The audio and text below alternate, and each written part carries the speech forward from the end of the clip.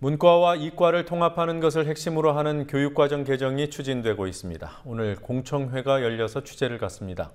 일선학교에는 어제 통보됐고 보도자료는 오늘 아침에 나왔습니다.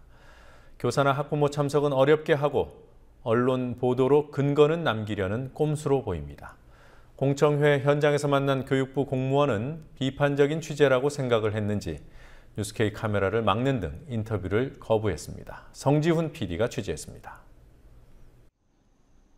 오늘 오후 충북 청주에 있는 한국교원대학교에서 문이과 통합형 교육과정 개정을 위한 공청회가 열렸습니다. 교육부의 공식 발표를 불과 열흘 정도 앞두고 열린 공청회지만 각계의 의견 수렴을 취지로 내세웠습니다. 공청회가 열리기 30분 전 같은 장소에선 교육부의 교육과정 개정에 반대하는 전교조의 기자회견이 열렸습니다.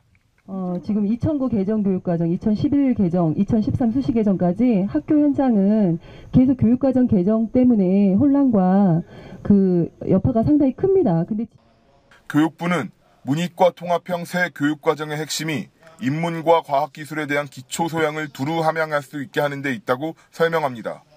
하지만 전교조는 중고등학교에 소프트웨어 교과가 신설되고 초등학교에도 안전교육 과목이 생기는 등 입시와 학습 부담이 가중된다고 지적합니다. 저것은 문이과 통합형 교육 과정이 아닙니다. 문이과가 없어지는 게 절대 아니에요. 학교 현장에는 문이과 계속 있을 거예요.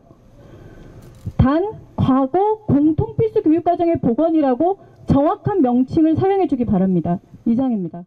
교육부가 교육 과정을 개정한다면서 현장 교사들의 의견을 수렴하지 않은 채 밀실에서 추진해 왔다는 지적도 나왔습니다.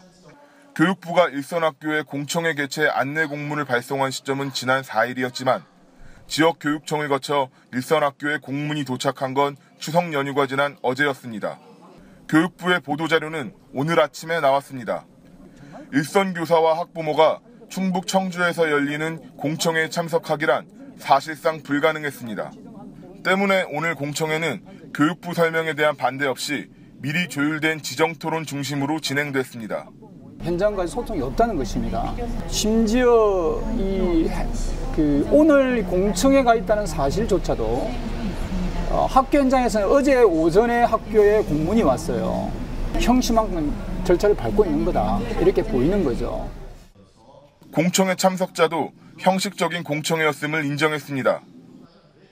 그러니까 공청회가 좀 형식적이라는 생각은 확실히 들어요. 그 시수 부분이나 이런 부분들에 아직까지 문제점이 좀 있고 어떤 형태로든지 어떻게 갈 건지에 대한 논란이 있는, 있으니까 그런 부분들을 좀 더 감안을 해주시면 좋겠죠. 근데 그 부분은 교육부 윗선에서 생각하셔야 할 문제고 저희가 하지만 교육부는 의견 수렴 절차에 문제가 없었다면서 오는 24일 예정대로 새 교육과정을 발표한다는 입장입니다. 국민TV 뉴스 성지훈입니다.